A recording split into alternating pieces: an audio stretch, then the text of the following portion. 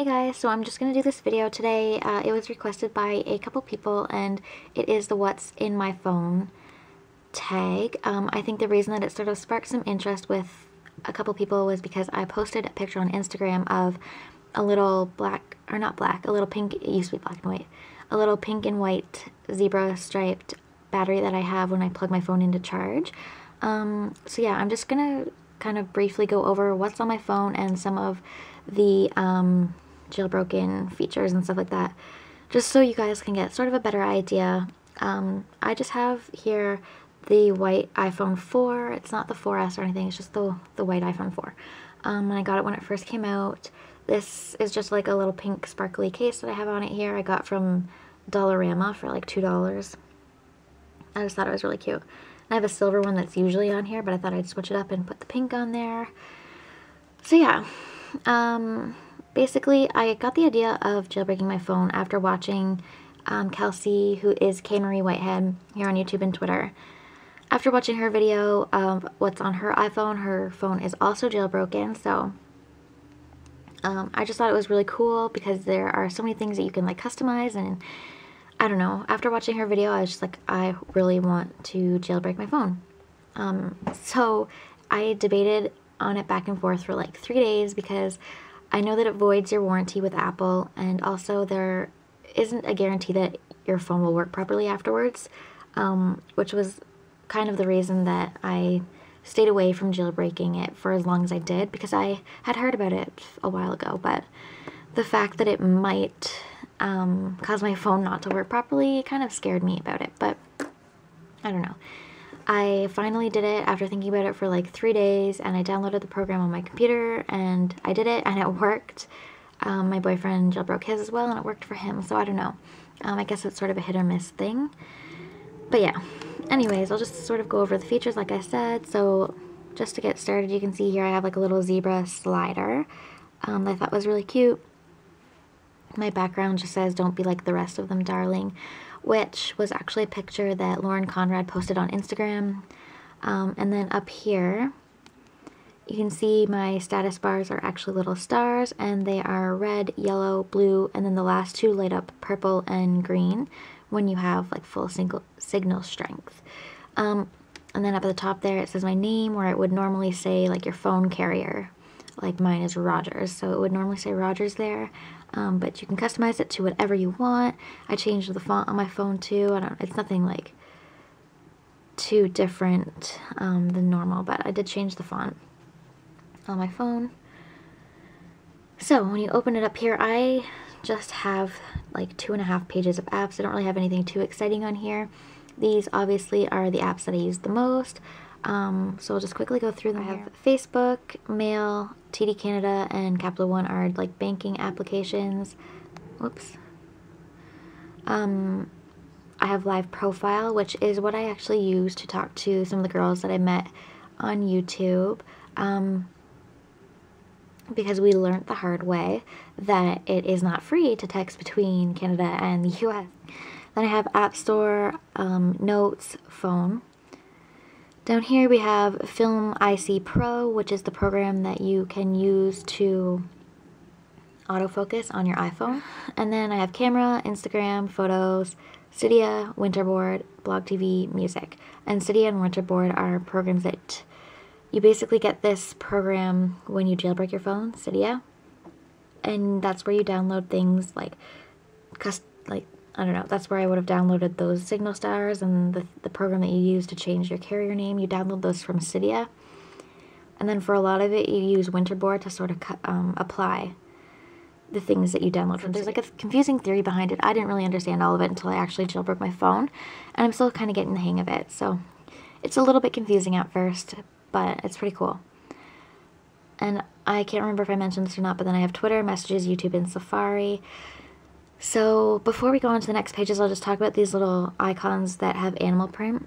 Um, you actually don't have to jailbreak your phone to have those. They are from a free program from the App Store called Icons Pro. And you just download the app and you can choose different, they have more than animal print. Like this YouTube icon is from Icons Pro. Um, the only thing, it's a pretty good app. Um, the only thing that I would say, there are some apps that are faulty. Like I used to have um, a different icon for messages, but when you would click to go to your messages, it would bring you to a new message every time. So it was kind of annoying because then you'd have to go to cancel and then delete draft or whatever just to get to your inbox. So that was kind of annoying. So some of them are kind of faulty. So I just stuck to the ones that like work properly still. And even still, like if I click on this, it goes to this white page first and then it goes to Twitter. So it's a little bit faulty, but it's still kind of cool.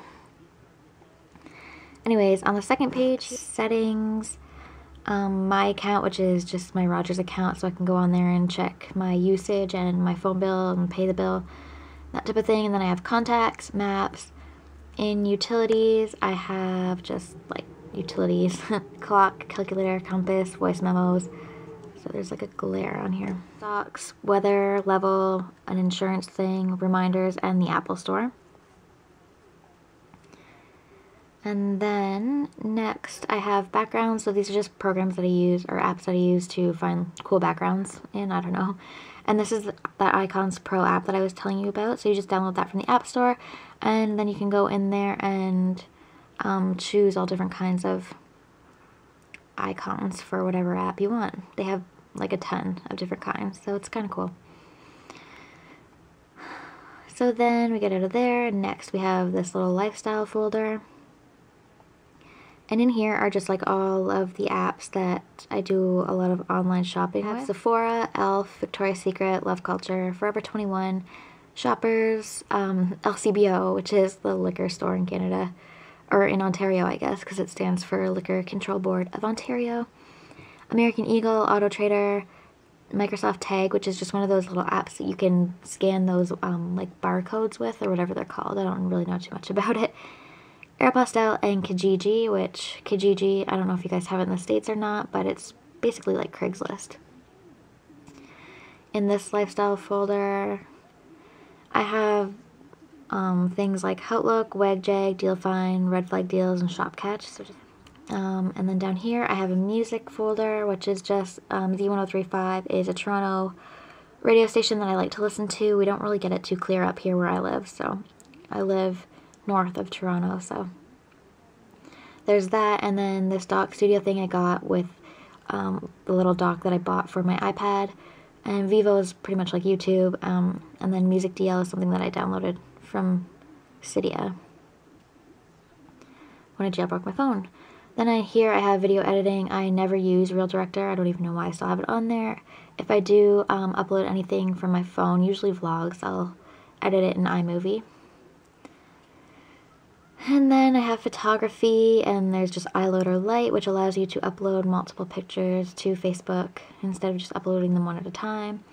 Um, and then there is Photo Studio, Frametastic which lets you make those picture collage collages. And then a watermark program which I have yet to figure out. It's kind of confusing to me.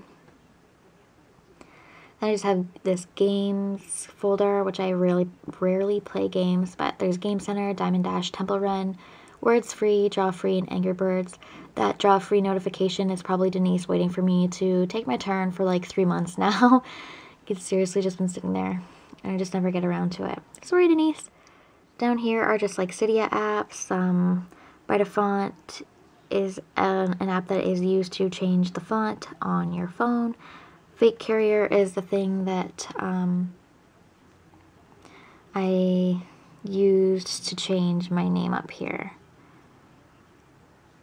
And then the other thing I have down here is Installous. I don't really know what that is completely. Cody kind of downloaded on there. He knows more about this whole jailbreaking thing than I do. Um, so he downloaded that. Apparently you need it to download some things. I don't know. Anyways, I just have an MTV app. eBay. Um, this eBay icon is also from Icons Pro. And then Nike GPS. And on the last page are just apps I don't really use too often. I have this little Icons Pro folder because all of the icons that you use from Icons Pro, you still have them on your phone. So I just didn't want duplicate like apps on the phone, if you know what I mean. I don't know if that's making any sense, but I just put them all in a pro or in a folder here. Then I have iBooks, Newsstand, Canada Post, and iTunes. And mm-hmm. but yeah, that's pretty much all it is on my phone. I'll kind of quickly go over some of the features that I have, like aside from these little signal bars and customizing that. Um, my Facebook is yellow. And if you get out of that, what's another thing? Um, oh, mm, my Instagram, I made teal. So up here is like teal and the font's a little bit different. And even when you like scroll down, all these little like comment boxes and hearts are that same teal color. And I downloaded a pink one and a purple one too, so I can switch it up if I want. Like you can just customize literally everything on here. I also, with my text messages, um, change them to this pretty, they say it's red. I say it's coral. I think it's a really pretty color. Um, but yeah, there's that. What else? One last thing that I'll show you, which was the reason this whole video kind of sparked, is when I plug my phone in here. Oops. Um, and then go back to this there you can see is that it's not really showing up pink because of all the glares and stuff, but the pink and white zebra battery um, that I got. But yeah, try and think if there's anything else I've done. If I go back in here, this is black instead of like whatever other color it used to be. I don't know. Mine's black now. I think they call it a status bar. I don't know. Another thing that I customized on here is when you pull this down, um, it's like different colored zebra stuff. Zebra stuff. zebra print. Um, little notification center. So, yeah.